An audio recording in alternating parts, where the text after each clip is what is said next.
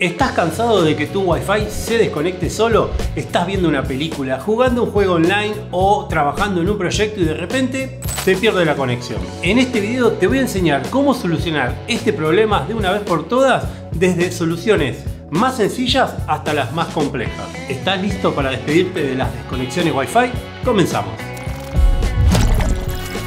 Tenés buena señal, pero sin embargo el Wi-Fi se desconecta solo. Esto es muy molesto cuando estamos haciendo algo importante y siempre que se corta el Wi-Fi o funciona mal, estamos haciendo algo importante. Si bien estos problemas son muy frecuentes en PC de escritorios o notebook como la que tengo acá, este video te va a servir para todos los dispositivos del hogar. Te voy a dar 5 consejos para que pongas en práctica, trata de hacer paso a paso cada uno de ellos como te indico y vas a ver cómo todo funciona muy bien. Empezamos con el primer consejo, pero antes si tenés dudas con respecto a, no sé, si no sabes bien qué es un switch, un repetidor, un punto de acceso, no sabes cómo conectar el cableado de redes, todo eso, acordate que hay un curso Está acá en la descripción un curso online hecho 100% en formato video. Comproba la señal Wi-Fi. Este es un consejo básico, pero para tener una buena base te lo quiero mencionar. Fíjate de que tengas buena señal Wi-Fi, que el router esté ubicado en un punto que llegue al dispositivo que querés conectarte y que haya la menos cantidad de obstáculos posible. Después te comento que tenés la banda de 2.4 GHz y 5.8 GHz para elegir. Esto lo haces desde las opciones del router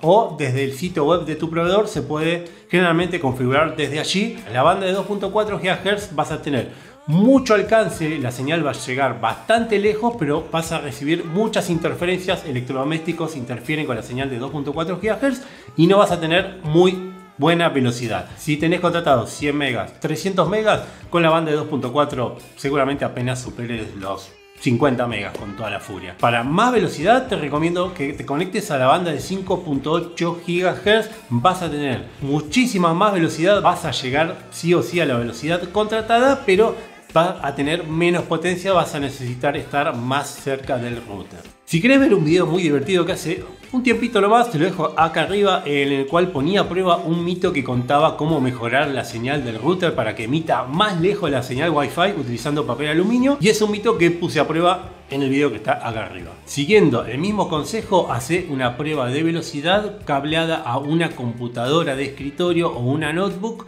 conecta un cable de red y hace una prueba, por ejemplo, del sitio web speedtest.net. Ahí eh, vas a poder ver la velocidad. Si no llegas a la velocidad contratada en, en cualquiera de los equipos que haga las pruebas con cable, no por Wi-Fi, Ahí sí te recomiendo que reinicies el router, hagas la prueba nuevamente y si sigue funcionando mal, ahí te comuniques con el proveedor porque el problema seguramente podría estar desde la línea municipal de tu casa hacia el poste. Es un tema que tienen que solucionar ellos. Si por cable funciona bien pero por wifi no, seguí con el siguiente consejo. Ahorro de energía. Este consejo ponerlo en práctica si tenés una notebook o PC de escritorio también, ¿por qué no? Tenés que ingresar a panel de control tipea panel de control. Una vez que estás en panel de control, pone para ver la vista, no por categoría, sino ahí, iconos grandes. Y tenés que ir a centro de redes y recursos compartidos. Dentro vas a cambiar configuración del adaptador y buscas el adaptador que sea el Wi-Fi, no el cable. Por ejemplo, Ethernet no, esta es para conexiones cableadas. Después hay conexiones virtuales, todo esto no le hagas bolilla. Por ejemplo, yo estoy conectado a el Wi-Fi 5G. Vamos a ir a propiedades. Este es la propiedades del adaptador. Este nombre va a variar según la marca de tu equipo. Vas a ir a configurar.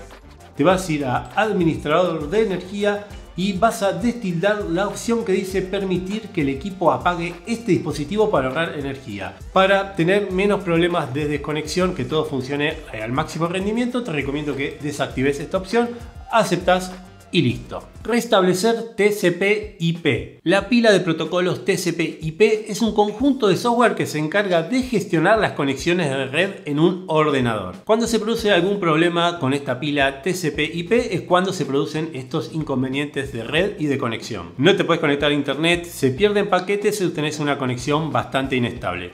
Para solucionar esto, vamos nuevamente a la computadora y ejecutamos el símbolo de sistema. Tipeás símbolo y te aparece acá, símbolo de sistema. Te recomiendo que lo ejecutes acá donde dice ejecutar como administrador. Y vamos a tipear el siguiente comando: net sh int ip reset. Le damos enter.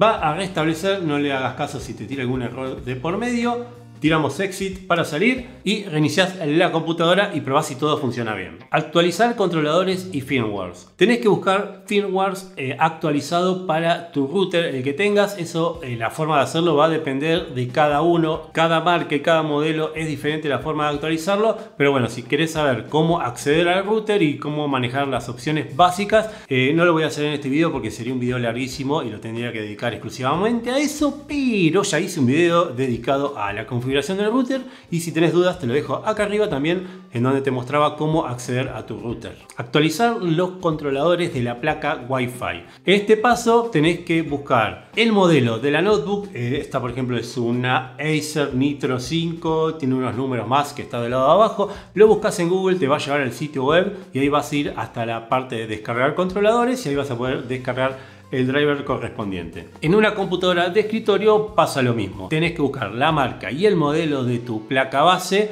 y ahí vas a poder ingresar y descargar los controladores. Si no sabes el modelo de tu placa, bueno, abrir el gabinete, la forma más fácil abrirlo, mirar la placa y ahí siempre está escrito, si no con algún software te podés apoyar para buscarlo. Si hasta acá no pudiste solucionarlo, si todo lo demás falló, bueno, primer consejo que te quiero dar extra es reinicia todo, pero todo es absolutamente todo. Modem, router, punto de accesos, televisores, celulares, apaga todo para que solo se vuelva a acomodar el router cuando inicie y pueda asignar direcciones IP de forma correcta. Algo que mucha gente no le da bolilla, pero si tenés un problema serio de conexión, chequea que el cable de entrada esté en buen estado. Cable de entrada me refiero a la conexión de vía cable coaxial que ingresa a tu domicilio o el cable fino de fibra óptica, depende de la conexión que tengas. Chequea que ese cable vaya hacia el poste de tu proveedor de forma correcta y que en el camino puede pasar que esté aplastado, que tenga algo que lo apoya, que esté doblado en una esquina, eso lo tenés que chequear. Si nada de esto tampoco te funciona, lo que tenés que hacer es llamar al proveedor para ver si hay algún problema en la zona, tal vez te estás volviendo loco, me ha pasado recientemente y el problema era que estaban haciendo algún trabajo en alguna caja de conexión eh, de mi proveedor y yo acá reiniciando todo, volviéndome loco y nada, tenés que llamarlos a ellos y que te lo tendrían que solucionar. Si no te lo solucionan, bueno, el consejo que te quiero dar drástico es cambia de proveedor, no pasa nada, prueba con otro proveedor y vas a ver si te conviene o no. Si te gustaron estos consejos, no te vayas sin antes dejar un me gusta y mirate algunos de estos videos de tecnología que seguramente te van a encantar. Soy Cabra y nos vemos en el próximo video.